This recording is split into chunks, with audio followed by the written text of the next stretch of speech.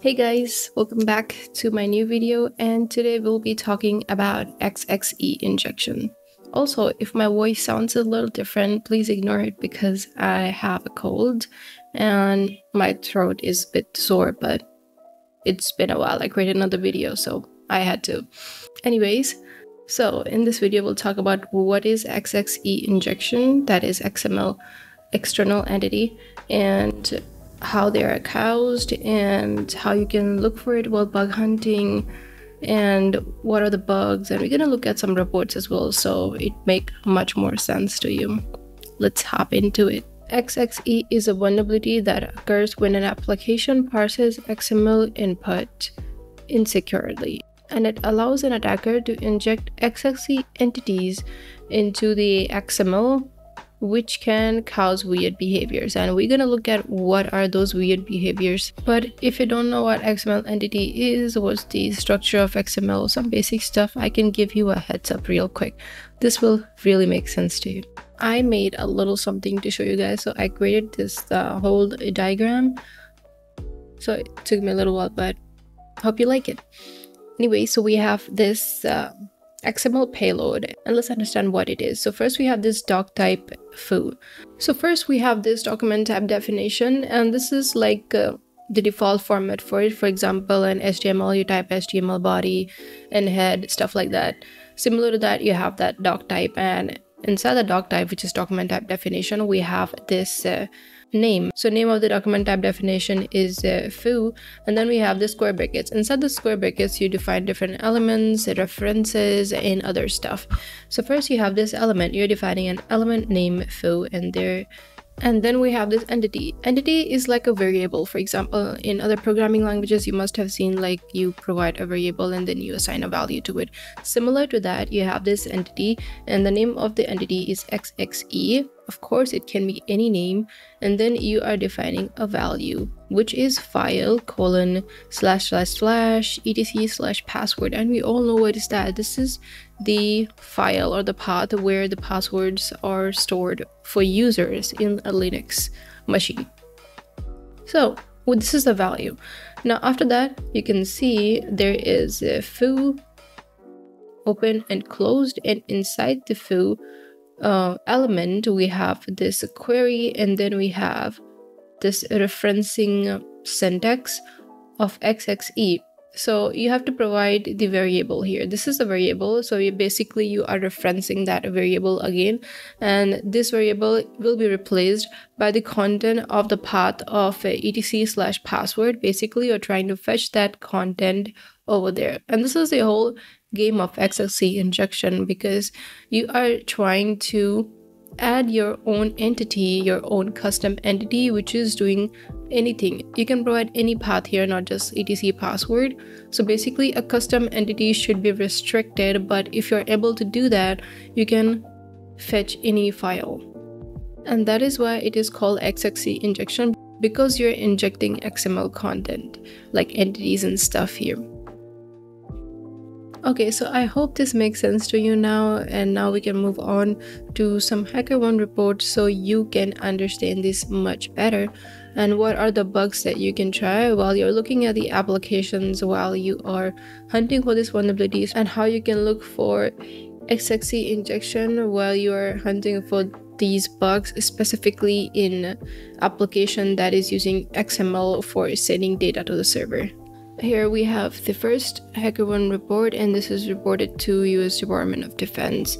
It says XML external entity injection vulnerability occur when an application parses XML input that contains reference to an external entity. As I said, an external entity means an entity that is custom or user defined.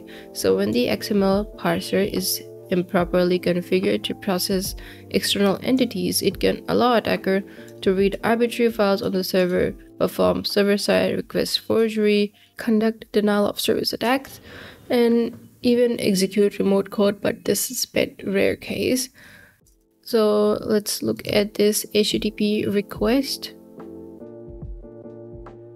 I, th I think my fingers are tripping on the mouse right now. I'm feeling like I'm having fever again. Anyways, So we have this uh, post request here, the path slash ca slash rest slash uh, cert request. And as you can see, this is taking XML. The content type is XML. If you see there is a different content type like application, like application JSON, in that case, you can also try changing the content type to XML and see if the application is accepting XML data. For that there is an extension in burp suite. I think it's called convert something like this. I forgot the name but if i remember it i'll put it in the description so do check it out.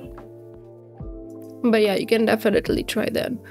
So so we have this xml syntax over here xml version 2.0 and then the doc type dtd and then replace and then we have this uh, custom entity. This time we have the name of the entity as ent last time we had xse so keep that in mind. And then we have the value etc slash password. So basically trying to read data from this particular path.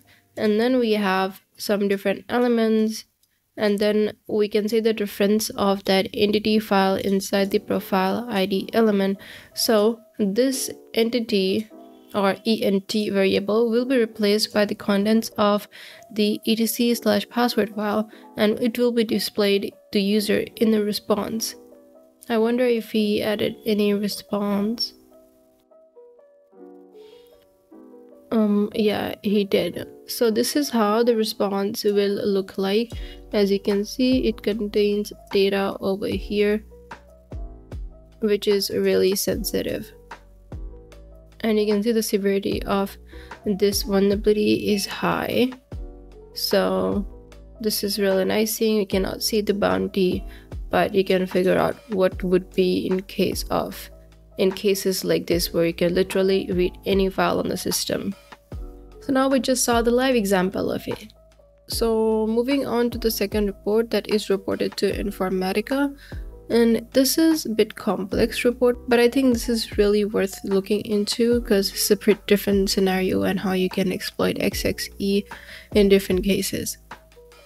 Okay, so here we have this endpoint, it's a post endpoint, and we have this API REST and the rest of the stuff query.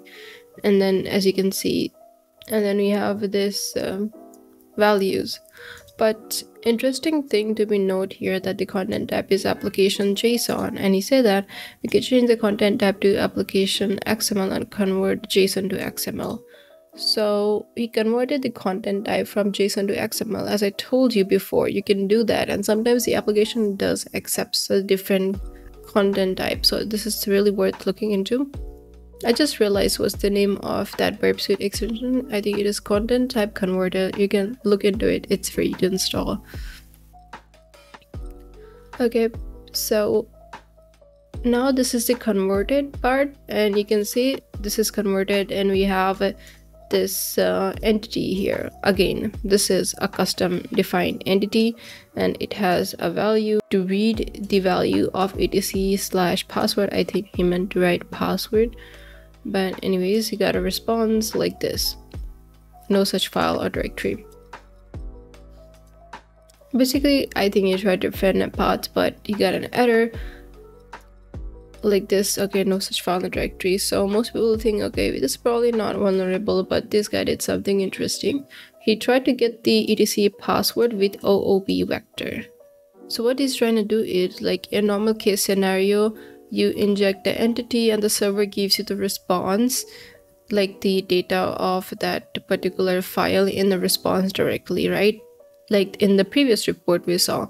But most of the time that's not going to happen. There's some kind of protection or security in the backend and you won't get that in the response. In that case you can use OOB vector in which you can get the response in your controlled server instead of directly in the response so you're making the server to send the response back to a different server that is controlled by you so why this happens? So basically XML does allow fetching external resources like uh, files and stuff, but you can abuse this functionality by telling it to fetch um, file, but that is going to be an internal file and setting it to your control server.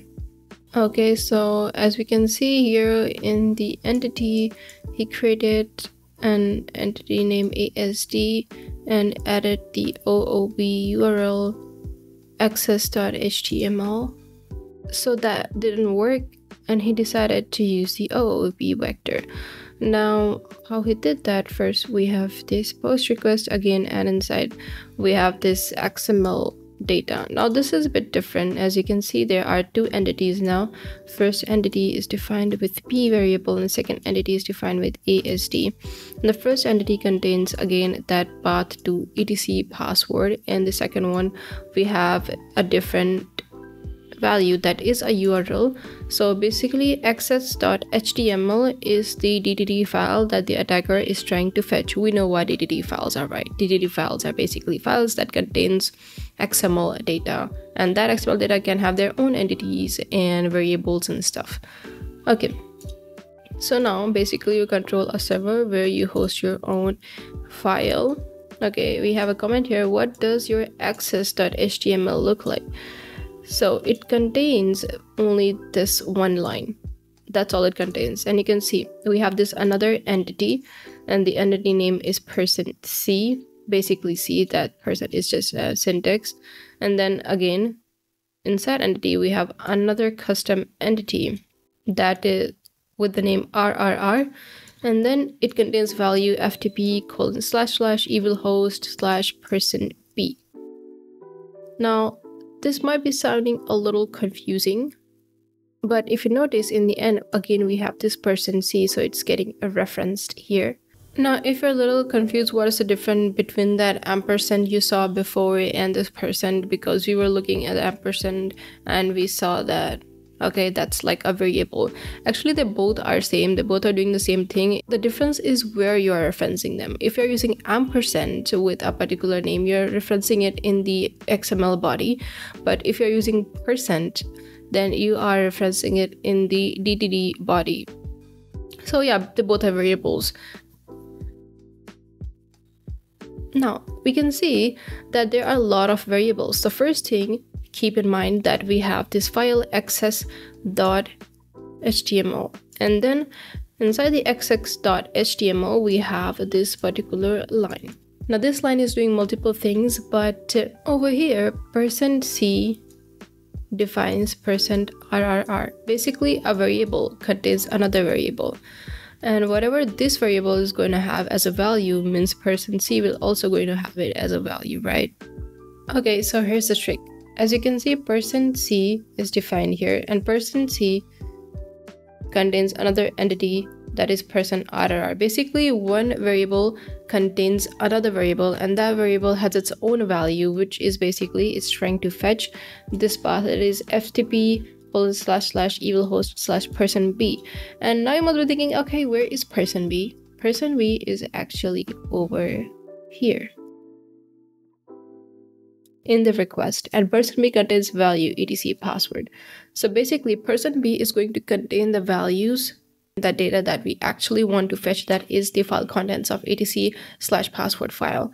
Now, and that is going to be fetched by a different file that is access.html.